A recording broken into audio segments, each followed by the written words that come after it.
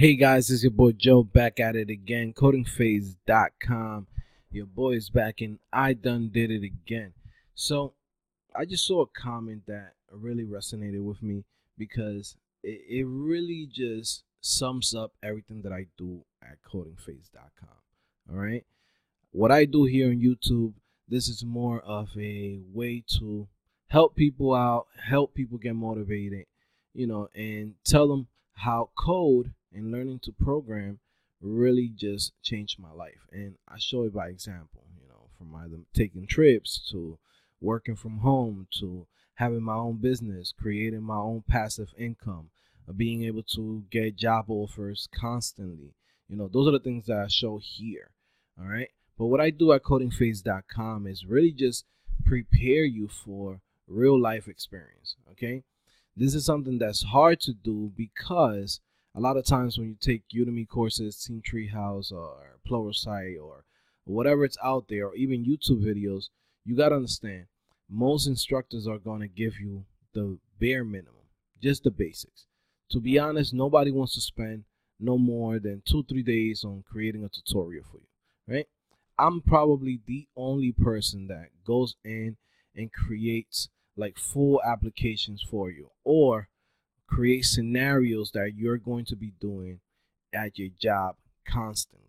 Okay, so this is a, a comment that somebody just left here, Ian Bayless.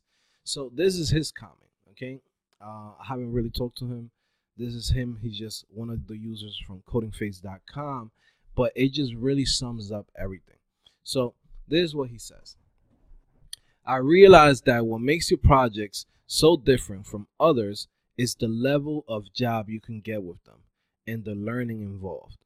A lot of other projects from YouTube and Udemy can get you your first developer job, but the projects you create are so intricate that putting them on a portfolio almost guarantees a mid level developer salary. The Node.js course by itself is an example. It's very real world compared to other courses out there. Heck, the first React course took me a month to finish and was one of the reasons I got a job. Keep up the good work. Okay, so this is a, a user. This is somebody who is a member of codingphase.com and has actually taken advantage of all the tools that I, I give you guys and the resources and the courses that are there. Okay. Um, one thing that I want to point out to everybody, you know, it's whatever you put in. Okay. It's whatever you put in. It's easier to go and do a quick Angular tutorial on YouTube. It's quick and easy to just say, hey, I'm just gonna go and do a quick React uh, course on Udemy, and let's say I learned the basics. Cool. Now you understand the syntax. Now you understand how the framework works. But do you have real projects? Do you have real life experience? Right? When you go to job interviews, they care about that. They care about can you explain your project? Can you say why you did this, why you didn't do this. You know, in a lot of my courses, I even do this like live with you guys because the way how I record my courses is I do it with you. I don't come in and have everything done in one page, for example. So I could be here and have all of my code finished here and then copy it here on this screen and then act like, oh, I'm writing this with you guys. Nah, I actually go in and basically record everything. Even when there's a mistake, we go in, we say, oh, cool, we had a mistake here, we go and fix it. Or then later on, like midway of the, the course, we might say, you know what, there's actually a better way to do this. And then we refactor our code live, right? So those are the things that's going to make you a better developer. You following a tutorial that has everything perfect and it's already completed and the instructor all he's doing is just copying it from here and pasting it here. That's not going to help you because you're not understanding the code. You're not understanding the reason why this person did this.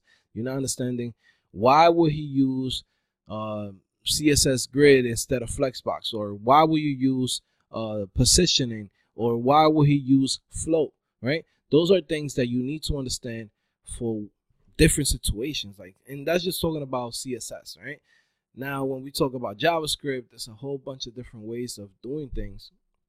But I try to make sure that I show you guys why I chose a certain way and why I'm choosing another way whenever we do change it. It just helps you understand how web development really is. Copy and pasting is not really showing you anything. Okay. And that's what you're going to get in most courses that are out there.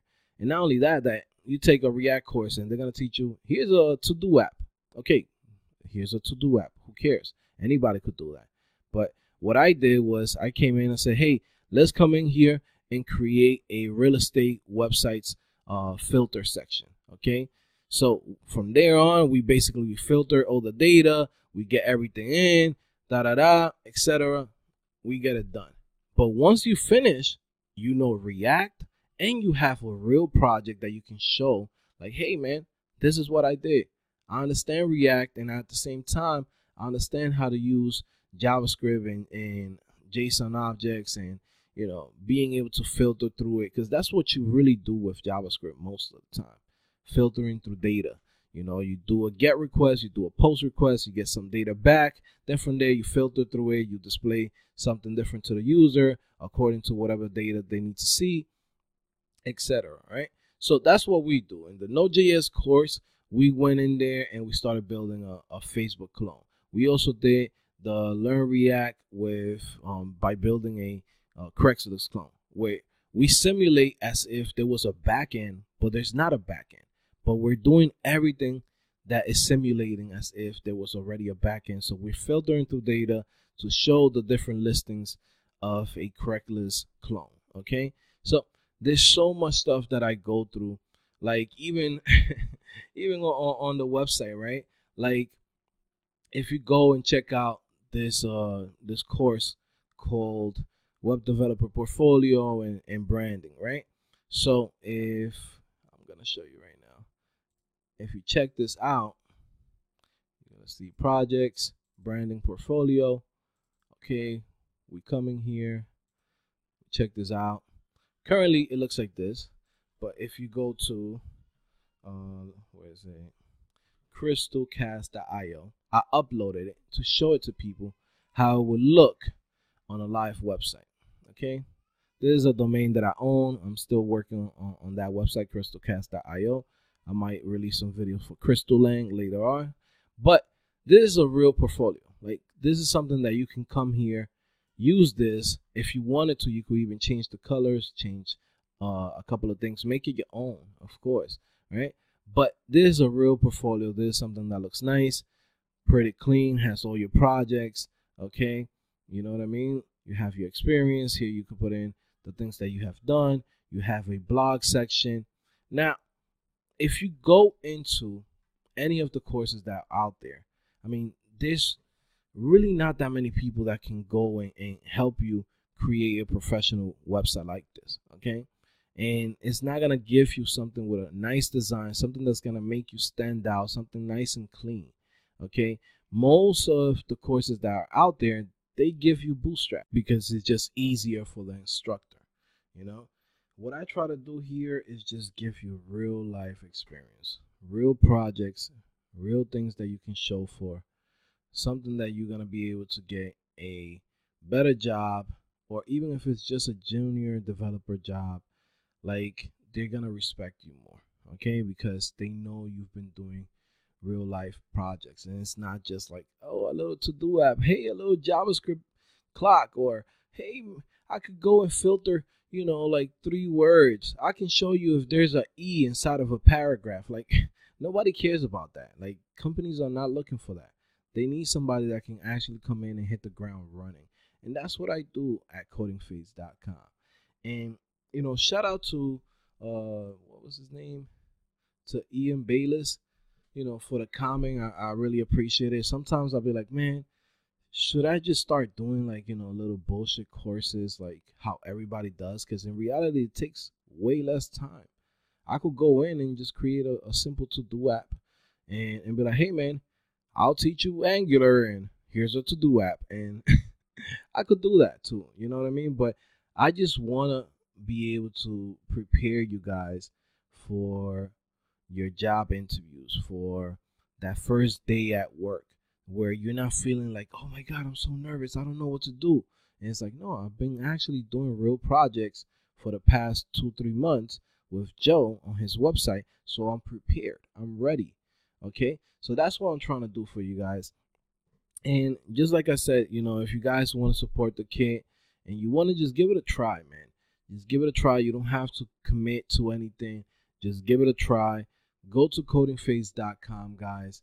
You go there, click on the description. You can even click on the description. You don't have to do anything else. You come here, click on the description. You click on this. It gives you 50% off automatically.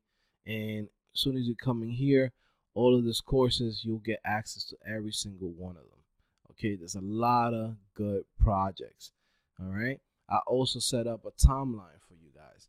So you guys can come in here and go to codingphase.com timeline. All the skills that you need are in order. Meaning you click here front end developer, right? Come here, you got all installations, all the things that you ever need just to install everything. Because I know sometimes people be like, man, I'm having problems with my Windows, how to install this. I'm having problem in, in Mac, how to install that. Everything that you need is here. You gotta learn how to use the terminal. You gotta learn how to use a text editor. Okay, you got HTML, CSS.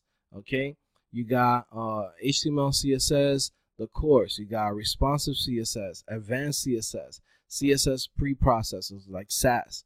Okay, then from there you jump into the projects. These are the projects that are going to reinforce whatever you learned on this module. Meaning, I'm gonna create a music artist website. Okay, we did a website for Tekashi 69. Then from there we build a dashboard. Okay, from there we have JavaScript. Okay, learn JavaScript the basics. So future-proof JavaScript, the course. Object-oriented programming, object-oriented programming with JavaScript, jQuery, task runners. Okay, you need a task runner because we are in 2018. Okay, you want to automate everything as much as you can. So from there, you got learn ES6, ES7, ES8, HyperApp.js. HyperApp is a pretty cool framework that's just gonna be so much easier to learn than React. So it's a good, how can I put it? It's a good introduction to using a framework, especially a modern framework like React, but using HyperApp. So you can understand all the concepts between you know, managing state, uh, understanding how uh, you work with a, a framework now in 2018. Like it's just a, a very good explanation and just a quick introduction. And it's completely free. You could go to my website and learn this for free. Okay. Then you have React.js. Okay. React.js, quick and easy. And then from there, you have your projects. Build a static site portfolio. Build a restaurant application Learn React by building a Craigslist clone. So you have all of that, okay? If you want to do some backend, then you go and follow the backend timeline, okay? With backend, you have to learn HTML, CSS. You can't skip this, guys. I know some people be like, hey, can I just go straight to PHP? And it's like, bro, how are you going to build a website if you don't know HTML, CSS? Like, you have to go through that process no matter what. So you do this, you know, if you want to do JavaScript, you do the Node.js, JavaScript full stack developer. Uh, you gotta do some Ruby, okay, if you want to learn some Ruby on Rails. All right, so it's just you follow the timeline, you follow whatever's there, and then from there you come in and you do the projects just to reinforce what you already learned. All right, guys. So, anyways, man, it's your boy Joe back at it again, codingphase.com. I just wanted to talk to you guys for a little bit because I really thought that this was a, a really great uh, comment because it just summed up everything that I do on codingphase.com. And I just wanted to show it to you guys because I keep on saying all of these things, but it's always good when somebody else that has been doing this and has been successful, already got their jobs, and actually comes in and, and, and speaks for the people, you know. And also, too, guys, whenever you come here, you use codingphase.com, always come back after you get a job. You know, I feel like sometimes people uh, they come in, they use the website, they use the platform, they use the YouTube channel for motivation. Once they get their jobs, they they leave and you know we never see them again. Come back because not only are you helping me, right, when you tell your stories and you share what have you learned on the website, but you also help other people because some people they're lost right now. They don't know which way to go, where to learn, what to do. You know, so if you share your story and you're able to, you know, just motivate somebody else and tell them, hey man, I did it. You know, it just helps them. It, it shows them that it's possible to do. Okay, guys. So, anyways, is your boy Joe back at it again, coding codingphase.com.